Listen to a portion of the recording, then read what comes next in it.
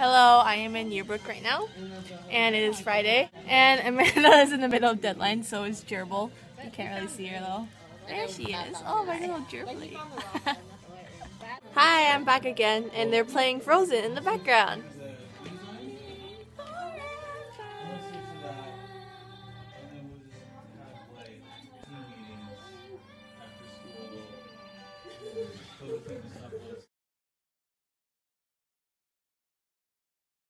So I said it was Friday, so it's my turn to do the video, and I am witnessing a rather unrowdy crowd who is desperate to get in the game.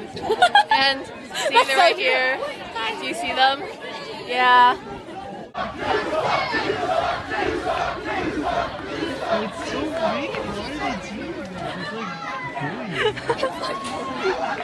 Is it funny that I'm still getting enjoyment of even being in the basketball game?